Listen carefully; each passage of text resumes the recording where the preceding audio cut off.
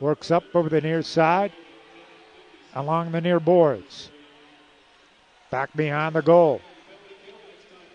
We'll swing it up over the far wall. Luke Lucyk is there. Keep it in the zone. Lucyk gets it back to him. Moving in. Pinching in. Lucyk shot. Score!